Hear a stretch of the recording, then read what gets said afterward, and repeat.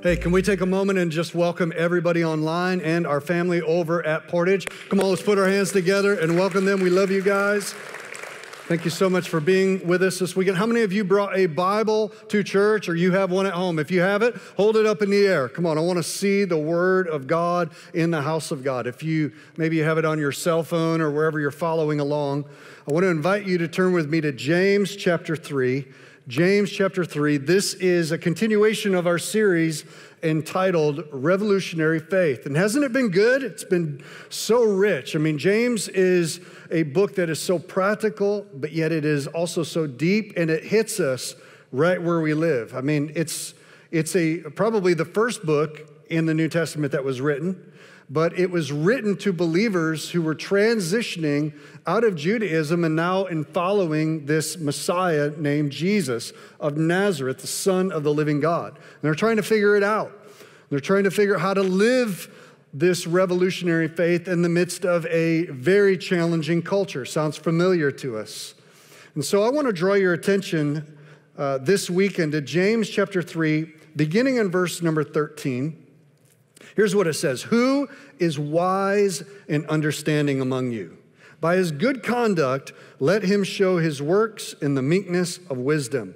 But if you have bitter jealousy and selfish ambition in your hearts, do not boast and be false to the truth. This is not the wisdom that comes down from above, but it's earthly, it's unspiritual, demonic. For where jealousy and selfish ambition exist, there will be disorder and every vile practice. But the wisdom from above is first pure, then peaceable, gentle, open to reason, full of mercy and good fruits. Excuse me. It's impartial and sincere. And a harvest of righteousness is sown in peace by those who make peace. Chapter 4, verse 1. What causes quarrels and what causes fights among you? Is it not this? That your passions are at war within you. You desire and you do not have, you murder, you covenant and you cannot obtain. So you fight and quarrel. You do not have because you do not ask. Or you do ask. You ask and you do not receive because you ask wrongly to spend it on your passions. You adulterous people. Do you not know that friendship with the world is enmity with God? Therefore, whoever wishes to be a friend of the world makes himself an enemy of God. Or do you suppose that it is to no purpose that the scripture says he yearns jealously over the Spirit that he has made to dwell in us? But he gives more grace.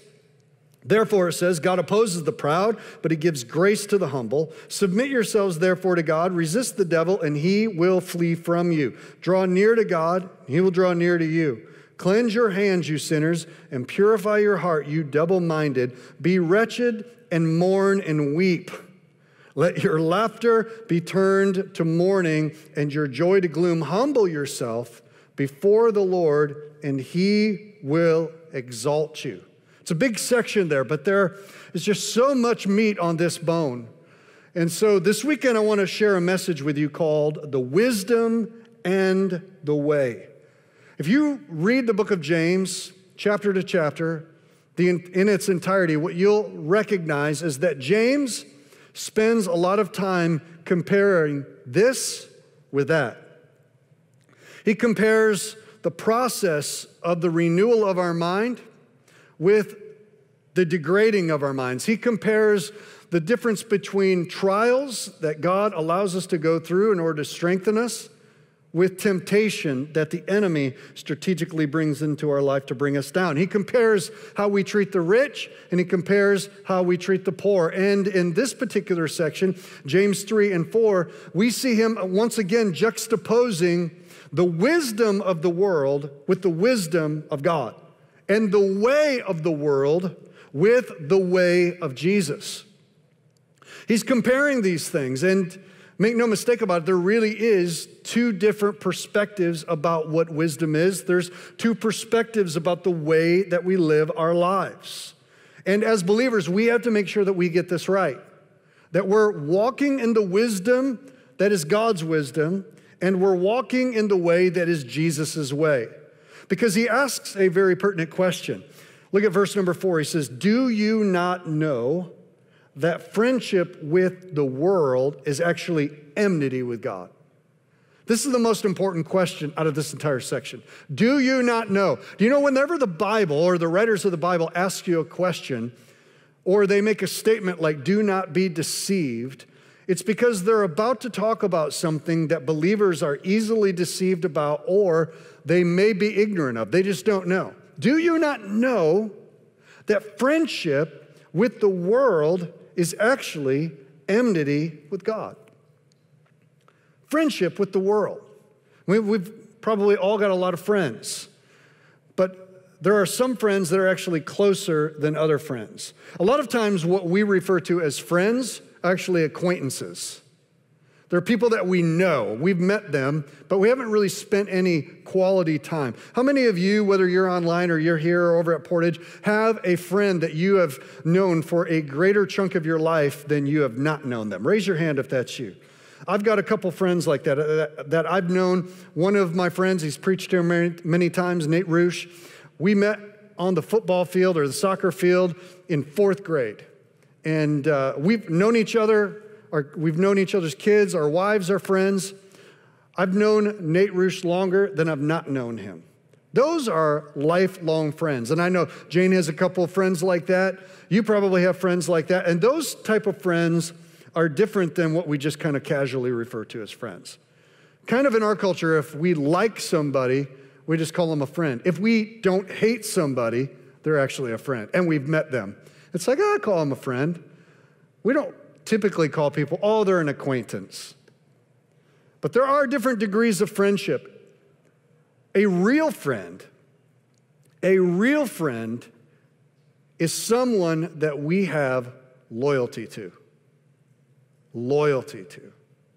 When Jane and I uh, got married 28 years ago, we just celebrated our 28th anniversary in July while we were on our break. And I was thinking back to 28 years ago when we got married. I had a friend who was going to stand up with me in my wedding, but I don't know if it was two or three days, maybe four days before our wedding, actually backed out. And Nate, who I just made reference to, we've known each other since fourth grade, he was attending Bible college in Minneapolis. And so I had, I had not asked him to be in my wedding party just because he had a lot of things that were going on and he lived in Minnesota.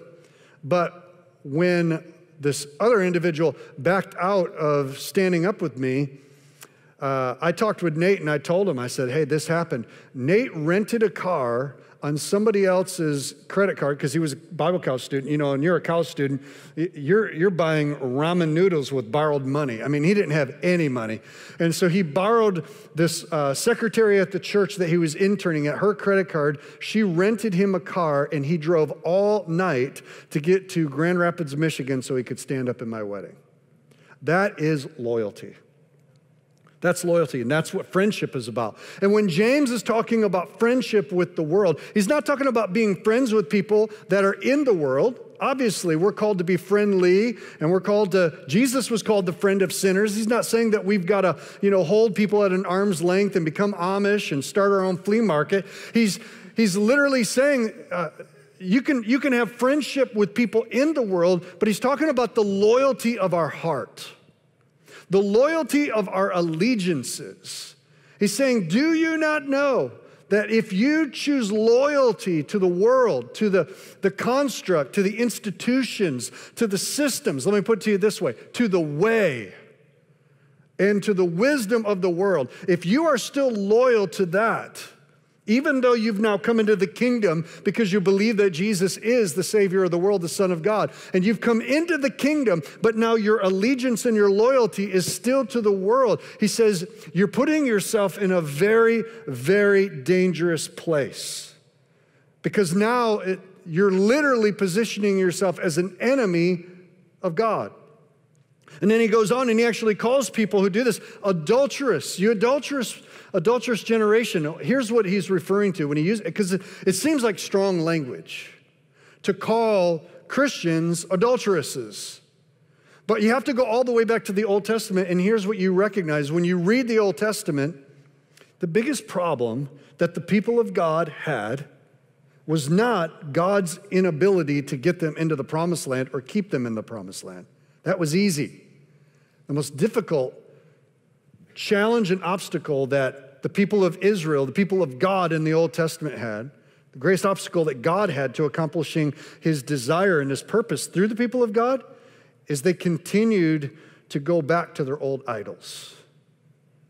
Or they would find themselves in the promised land and they were supposed to push out all the other inhabitants, the Canaanites, the Jebusites, and the you know the different ites there was several different nations the uh, Canaanite nations that they were supposed to push out or that they were supposed to literally be a light to them. But instead, what happened is they began to worship their idols. And they became idolatrous. And in the Old Testament, God calls that level of idolatry adultery. Because God is a covenant God. Marriage is a covenant. And God married Israel unto himself. Spiritually, he stepped into a covenant, and that covenant now applies to you and I as believers. We are called the bride of Christ. And when you're a bride of Christ, that means we've been married to him. And when you are married, nothing is supposed to divide that level of a covenant vow. It says, when, when we marry people, we say, What God has put together, let no man divide. Let, you know, leave your father and your mother and cleave unto your wife. And so when we come into faith and we believe in Jesus and we receive the gift of salvation and the gift of grace, our loyalty all shifts to Him. But if we're standing over here in the house that Jesus built for His bride, and we're in the kingdom, but we're continually looking over the fence at our neighbor's idols and where we came from, longing for the onions and the leeks of Egypt, if we're longing for those things, and if we're operating out of a different way of thinking in a different value system, then what begins to happen is our heart drifts there and we find ourselves spiritually with our affections and our allegiances actually giving them to the world while we're living under the benefits of grace. If you've ever known somebody who's committed adultery or someone who's been the, the, the wronged individual in a marriage, there's nothing more painful that an individual can walk through than to have that level of betrayal. Well, let me tell you something about Jesus. Jesus is a great high priest because he is not unfamiliar with our infirmities and our weaknesses. And even to this moment, even to this day, he is so long suffering and so gracious with his bride, the church, because over and over and over again, we wrestle with these same issues. Do you not know that friendship with the world, God's not saying, oh, you can't have any other friends. No, He's saying, if your loyalty goes that way, you're actually turning it away from me because the world and the kingdom of God are diametrically opposed. Listen, church, there are two wisdoms and there are two ways. And this is what James is writing about at the tail end there. He says in verse 13, Who is wise and understanding? Who is? Who's wise and understanding? Let me tell you something about what we've done in our culture. We think that wisdom equals knowledge. We think, well, I know a lot.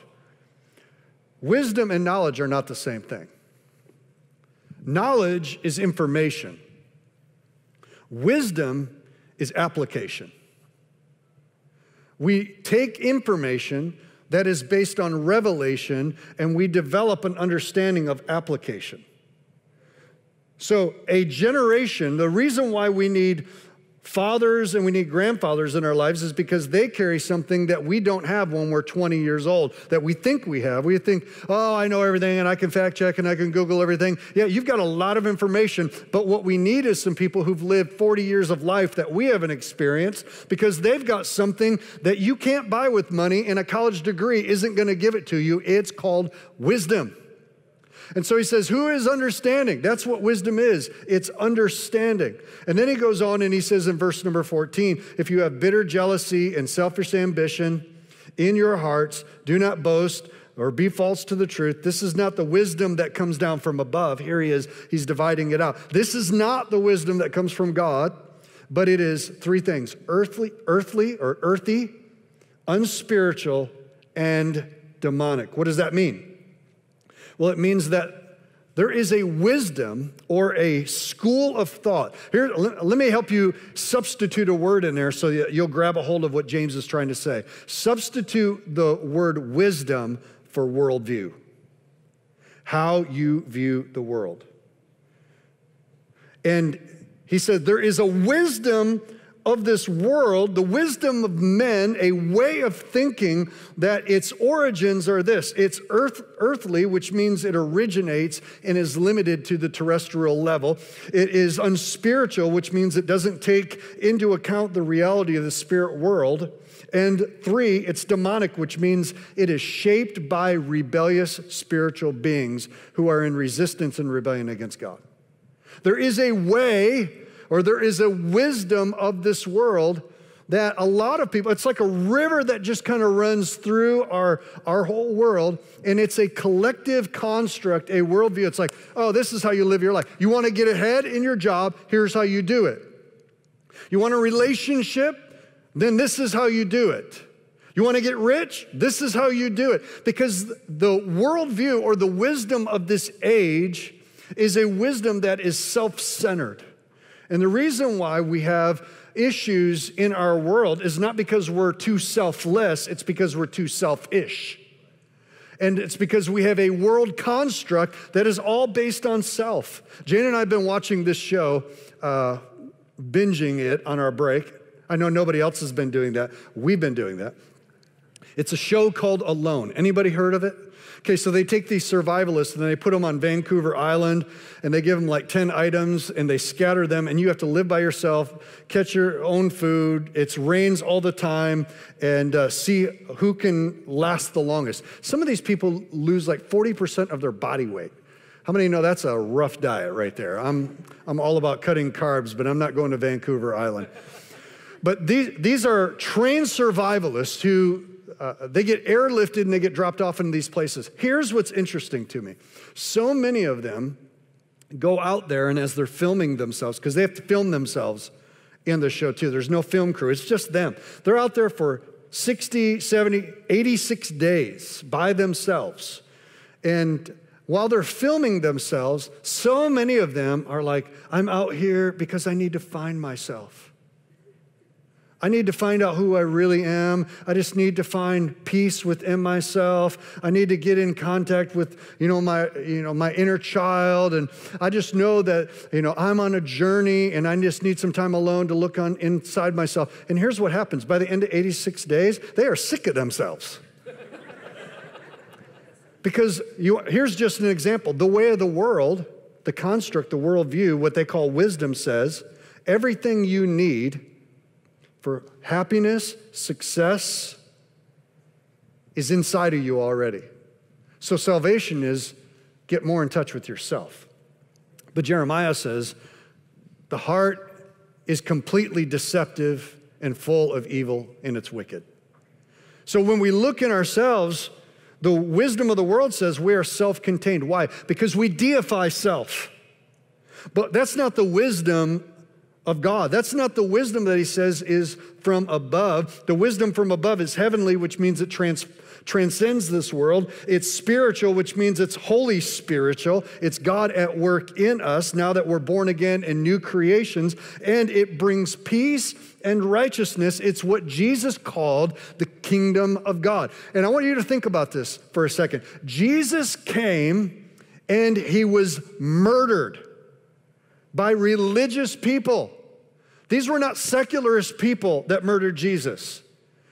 He was murdered at the hands of some of the most religiously educated people on the planet. Now, the secular, you know, the Romans, they went along with it. They're just like, fine, whatever. They were trying to keep peace in Jerusalem. They had their own view of wisdom. But why did Jesus get crucified? Well, obviously, it was in the foreknowledge of God, but the ultimate thing was that Jesus confronted the fact that the people of God were outwardly showing themselves to be very faithful, but internally their heart was more connected to a worldly wisdom and construct than it was to the way of God. And when he confronted that, they said, We got to get rid of you. Why did they do that? Because that's the way of the world. What do we do? We get angry, we attack, we go to war, and we kill things that disagree with us. James said it right here. You want to know where wars come from? Where quarrels come from? Where Facebook wars come from? Where it comes from your passions. Your passions are at war within you. There is a war going on on the inside of every believer. What is it? It's the Holy Spirit on the inside of you. It's trying to shape you to be like Jesus and your old self that is plugged into the matrix construct of the wisdom and the way of this world. What did they do? They just got rid of Jesus. Well, what do we do with people that we don't like or disagree with? What do we do? Do we bless them? Do we turn the other cheek to them? When they ask us to go one mile, do we go two miles with them? No. Most of the time. Why? It's because it's not natural. How does it become natural? It doesn't ever become natural. It only becomes dominant when it becomes supernatural. When the Holy Spirit shapes and reforms our heart. When we exchange the wisdom of this world, the way of this world, for the way of Jesus. Do you know that uh, that phrase, the way, was actually used by Jesus to describe who he was? I am the way, the truth, and the life. Jesus did not say, I am a way. Has anybody here ever read the Sermon on the Mount? Where Jesus said,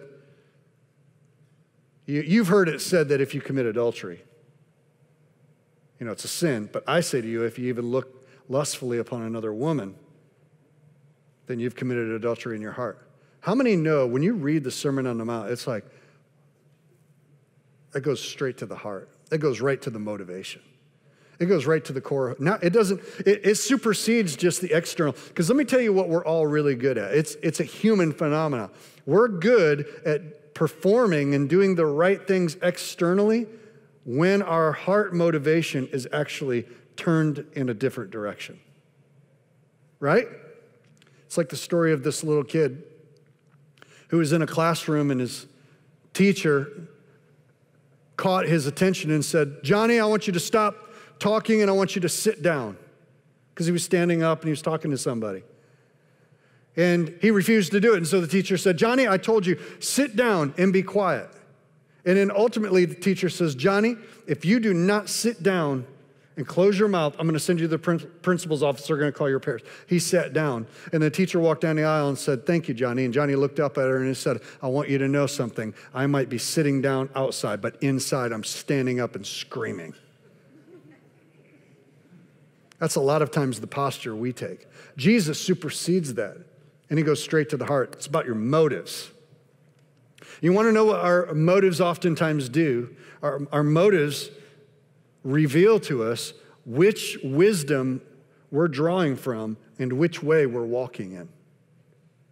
Our motives, the fruit of our life. Jesus said, I am the way, the truth, and the life. Do you know that the very first description of what Jesus was doing in the earth, this assembly of people called the church, we call it church now. But originally in Acts chapter 19, it was referred to as the way. The way. Why? It's because they were living their lives so contradictory to what the world called wisdom. They were, if, if you read Acts chapter 2, when the church was in revival in the very chapter, what were they doing? They were selling their stuff and then bringing the money to the apostles and saying, Do what you need to with it. Take care of the poor, take care of those who are in need. I mean, the rest of the world looked at it and said, That's not how you, that's not how you get ahead. Because they were thinking out of the construct of the world. They were forgiving one another. That's not what you do. What do you do when somebody wrongs you? You take them out, baby. You go after them. No mercy. Now, what Jesus say? How many times are you supposed to forgive somebody? 70 times seven.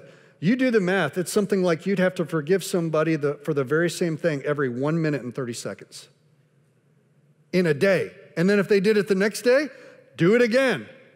Who does this? The church was doing it, and they were living in the midst of the world doing this. They were living like this. They were being generous. They're praying for one another. They're forgiving one another. There were people, there were Gentiles and Jews who were worshiping together. And the world stood back and looked at that and go, What is that? It's the way. What is it? The way of Jesus. Why are you living like that? Because we're not living in the way of the world anymore. What's the way of the world? The way of the world is, well, uh, uh follow it up here. He said, you have all these desires on the inside of you, and yet you still don't have. In other words, you don't have the things that you're living your life for. And so, what do you do? In your heart, you murder one another. You're taking people out. He says, You covet, and yet you cannot obtain. You fight and you quarrel, yet you do not have because you do not ask. You ask and you do not receive. You ask wrongly so that you can spend it on your own passions. Remember, he's talking to believers here. He literally tells Christians, you're praying prayers and asking God to give you things for the wrong motives. You're doing the right thing out of the wrong motive. It's dangerous. There's two words that I think are really telling in this whole section. Number one is the word desire. It's right there in verse number two. He says, You desire. The Greek word for desire there is the word hedone, which is where we get the word hedonism. We have desires. What's the way of the world? The way of the world is constantly wanting and wanting and wanting. It says it's your desires or your pleasures. Hedonism is an attitude, it's an ism within our worldly wisdom that says live for pleasure. Everything's okay as long as you want it and it feels good and it doesn't hurt anybody else. That's called hedonism. And you know, it's nothing new, it's part of sinful fallen culture.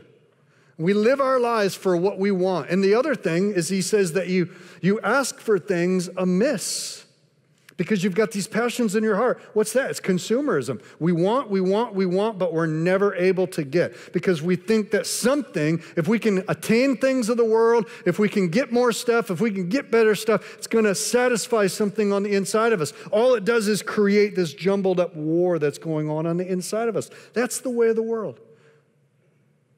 I don't know if you're familiar with it, but if you have a smartphone or you have a, an Apple or, you know, Apple device or a, an iPhone uh, because you're saved, if you have an Android and you're still waiting to get right with Jesus, sorry. Uh, all of these, the, the phone technology on your computers as well, there are these artificial intelligence programs that they have developed that track all of the moves that you make on social media, search engines, and they create algorithms to figure you out. And it actually creates a cycle that you don't know what begins and what ends. So the other day, we were with friends, and we were talking about eyeglasses.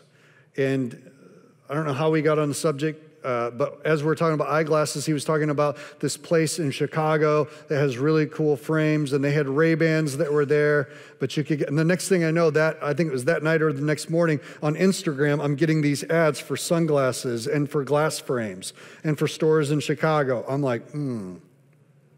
How does this stuff happen? Or if you've ever searched for something and then all of a sudden ads for those types of things pop up. What they're doing is trying to predict what you want, what you're thirsty for, what you're hungry for. So then they give it to you, and then they know that if you see it, you're going to want it more, and it becomes the cycle. Sometimes we think, oh, how convenient it is that in social media this stuff just pops up, and now I know where to go get it. But oftentimes we don't even know that we want something until we've seen it. And so we see it and we want it, then we get it and it doesn't satisfy what we thought it would. And so then we're looking for something else and we go and get it and it doesn't satisfy. And on the inside of us, what's really going on? There's this war a war of desires, a war of pleasures, a war for more.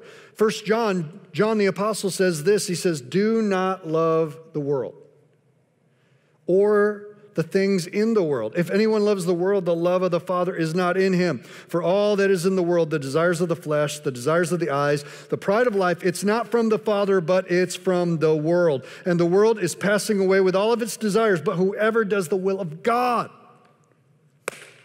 mm, Whoever does the will of God abides forever. Our stuff is going to end up in the Salvation Army.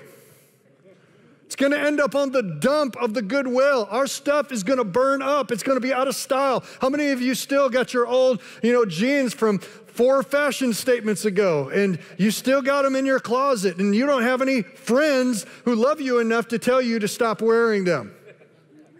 Right? It, I mean, we've all got some of those things. I remember when skinny jeans came out, I'm like, number one, I'm never wearing those. Number two, whoever will. And then you see them, and I'm just waiting for the moment somebody's not going to get the memo that they're not in style anymore when bell bottoms come back out.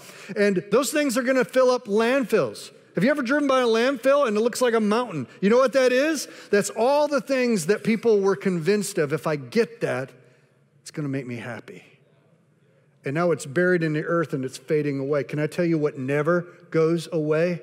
Doing the will of God. Living in the wisdom of heaven.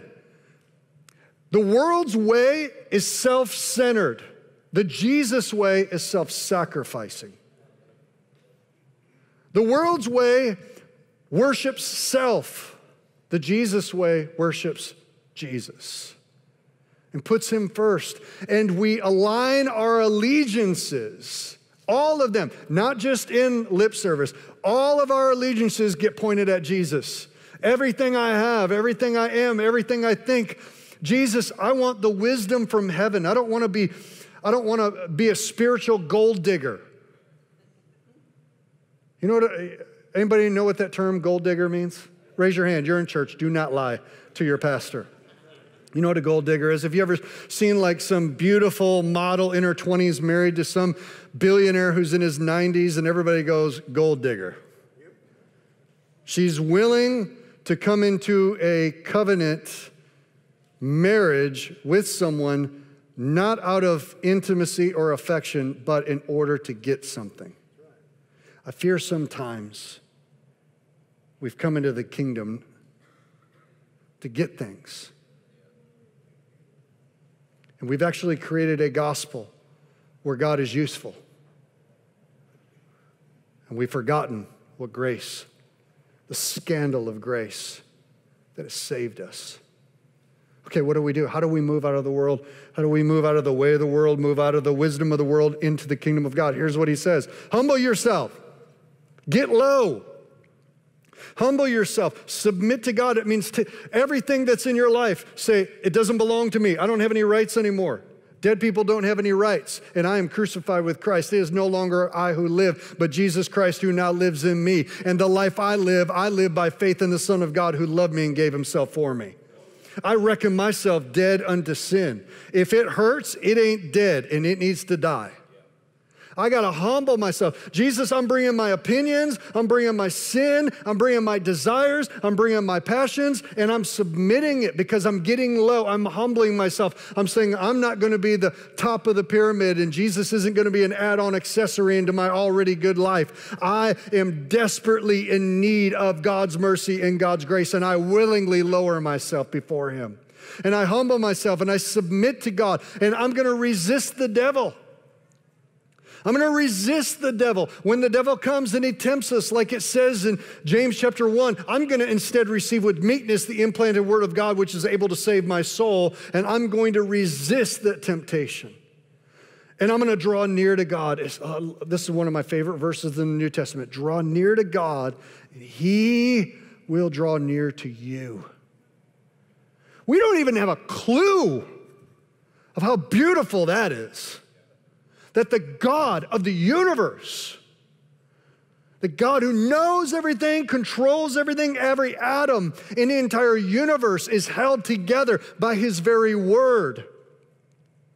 He called it into being in the beginning, and He will be the Lord of it in the end. He knows every thought, He knows every motive, He knows every individual, He knows every hair on your head, He knows every conversation that's taking place, He knows every lie we've ever believed, every sin we've ever committed. But yet, God is saying to us, here's this massive invitation. If you will draw near to me, not just with, uh, yeah, I believe in Jesus, I believe in God, yeah, but I've got my life if we'll draw near to him, which draw near literally means turn ourselves in a direction and pursue.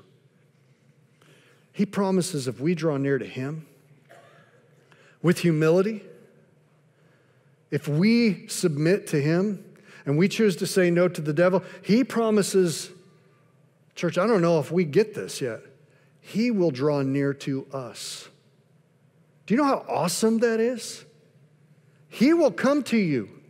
He will draw near to you. He will live in proximity to you. And then he tells us, I want you to cleanse yourself, cleanse your hands. That means the actions of things, the way that you're living your life, what you're putting your hand to, how you're putting your hands to. Purify your hearts, which is reject false ideology, mourn and weep. In other words, emotionally feel and then ultimately humble yourself because what God is attracted to is humility.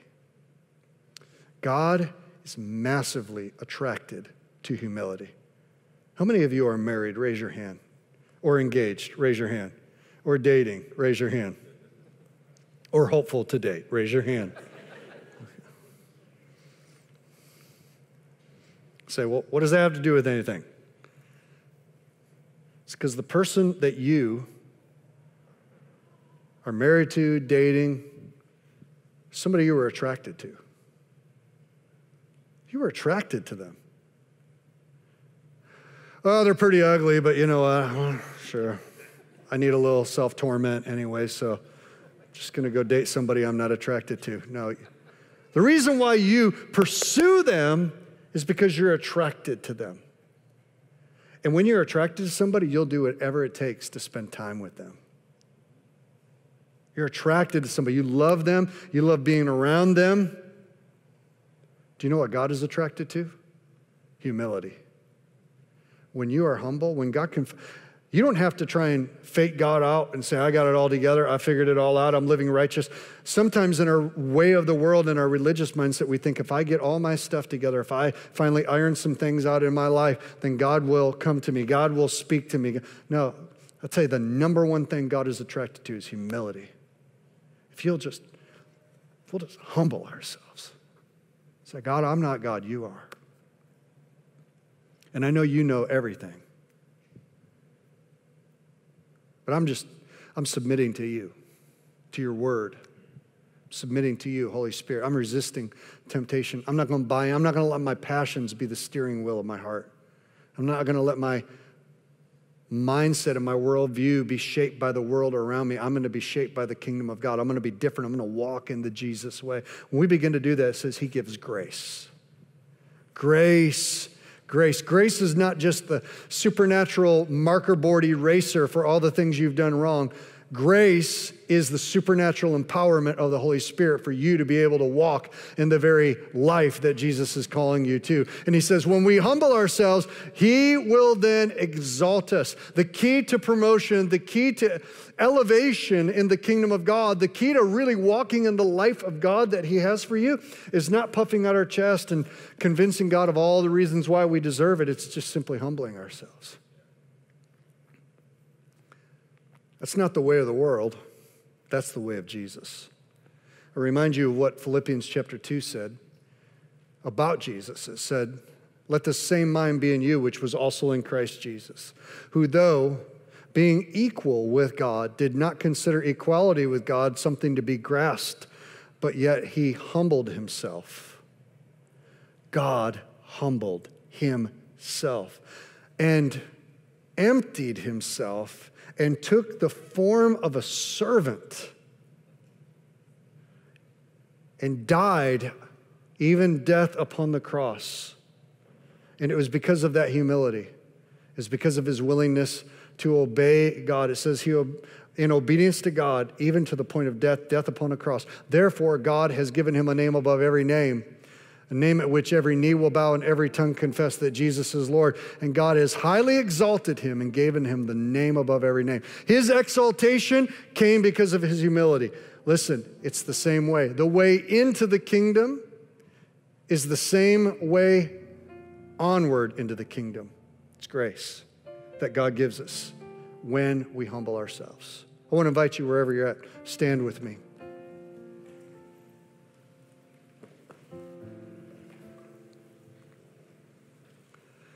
Want to invite you, if you would, to bow your heads. Even those of you who are at home watching online, those of you at Portage, wherever you're at, God knows, God sees. Today, my hope is even beyond my words, the Holy Spirit has spoken to your heart. That today, the wisdom of heaven is reaching out to you. And that there's a hunger on the inside of you for that way, to live as a follower of Jesus, to live not just by a confession or a prayer, but a way of our lives. And all of these things that God's included in His Word for us are not there to somehow push us over the side and say, You're rotten, you're terrible, but it's to inspire us and call us higher. Tonight, the Holy Spirit's calling us higher. Today, wherever you are, the Holy Spirit is calling you higher. The way that we go higher in the kingdom is we get lower in His presence. And today, wherever you are, if you have not surrendered your life to Jesus and allowed His grace, His mercy, and His perfect sacrifice on the cross to bring forgiveness into your life, make you right before God, then today is your moment, it's your opportunity. Wherever you're at, if you're here or you're listening and you know in your heart of hearts, I'm not right with God. But I want to be right with God. I want to be saved, not by my good works, but by God's grace and mercy. Today, I want to know that I know that I know that I'm right with God. The way that you do that is you believe in your heart, and then you acknowledge it. Physically acknowledge it. Out in public and say yes to Jesus. If you're listening within the sound of my voice today, in this very room, and you know you need to get your heart right with God, I just want you right now, would you just raise your hand, say, Pray for me. We're going to pray in a moment. And if you need to get your heart, you want to get your heart right with God, I just want to pray with you. I want you to just respond. You need to take this step and say, Pray for me today. I need to get my heart right with God. Include me in this prayer. If that's you, raise it right where you're at, even at home. Just raise it. Everybody saved and on their way to heaven in this room.